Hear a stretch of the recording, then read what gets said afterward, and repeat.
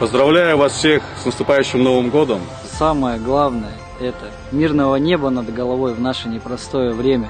Мирного неба. Чтобы в новом году это все закончилось наконец.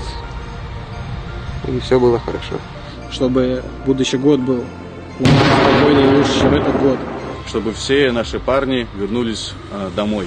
Всех детишек, которые ждут своих отцов отсюда, чтобы они приехали, все были живы-здоровы. Хочу всем пожелать крепкого здоровья.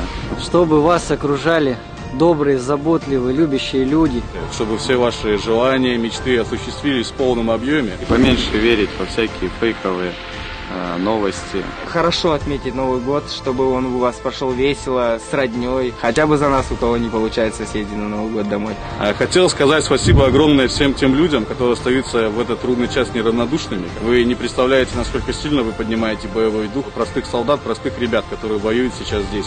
Когда они могут зайти и знать то, что за ними целая родина, и все их поддерживают. С Новым годом, дорогие россияне! С наступающим!